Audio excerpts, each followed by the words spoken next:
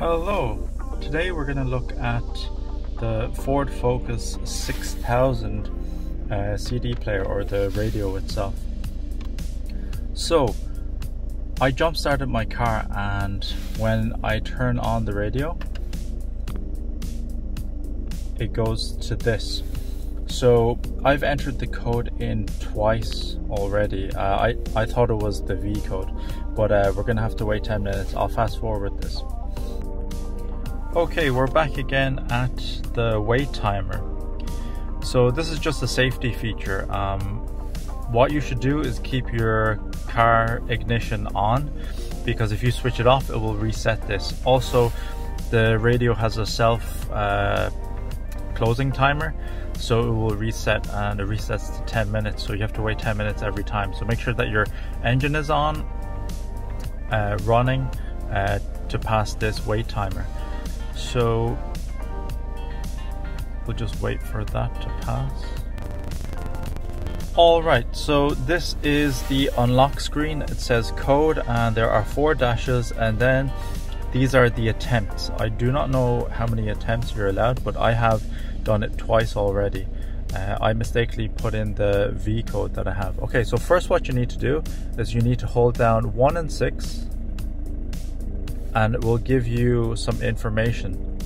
What we're looking for is a letter V or M followed by six digits.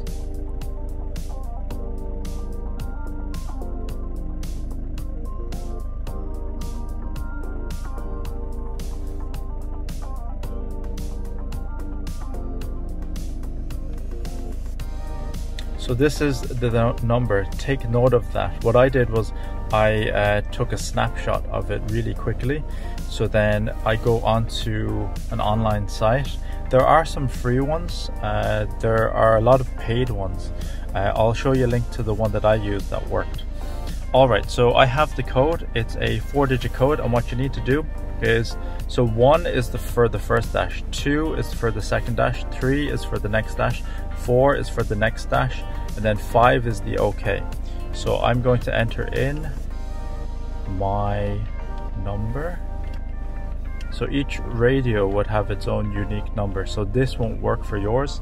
You have to find out your own one. And there we go. It's unlocked. There we have, we have the radio. Let's scan through it. That's working. I needed to set my clock, so I need to hold the clock down. I don't actually have the time.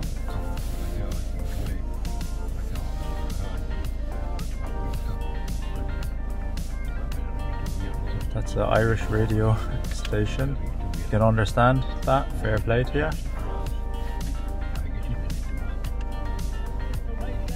So the radio is working fine. Let's check the CD. Wonder what CD we have. Oh yeah, that's the CD auxiliary. And that's it.